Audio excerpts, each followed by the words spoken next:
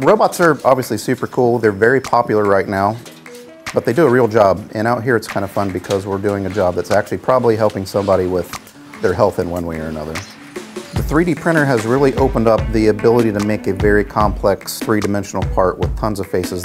The machine paid for itself with just, probably just this part.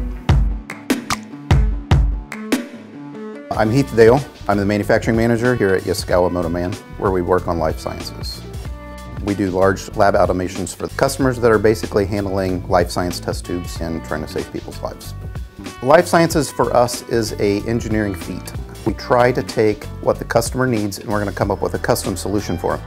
So we are basically engineering the product with our robot systems and our conveyor systems. So we can integrate different types of analytics. Uh, we're interfacing with the software that customers may have. And then we're literally building the equipment from, from scratch. Building of it, program it, wire it, install it, the whole nine yards. There's a whole bunch of very interesting shaped parts, so it was very apparent that a 3D printer would be a very nice addition. And we went the Lulzbot, the TAZ 6 specifically. We thought it was going to be a really good one to get our feet wet and see how it works. So far it's been a great, great machine for us.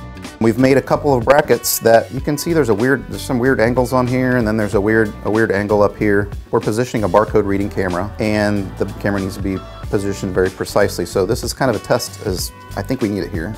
That's what it looks like. We made that out of aluminum after we were done. So this is a jig that we made to align our conveyors and the sensors that are on a conveyor very consistently so they say the exact same distance apart. We have four machines like this so we want them all to be exactly the same. So here's a good example of a jig that we've made. A good toolmaker would probably really like to make this, but it would be a super pain. It would be a very expensive part and it would take us a while to get. So we made this in a few hours. We're able to use it and find that it didn't work. So instead of paying hundreds and hundreds of dollars, we're gonna just do it again, spend a few more bucks. Now we have a part very similar to this on the machine that's working. Just this one part I probably paid for the machine. We still have a whole lot of machines that need fabricated parts and machine parts, but a lot of the intricate stuff that's going to take the time for us to really develop and, and fine tune, it turns out that most of those things can be printed. So the printer is going to help us a lot. It's going to save us money. It's going to help our margin a little bit. It's going to probably reduce our time of development and increase the efficiency of it and make it a lot cheaper.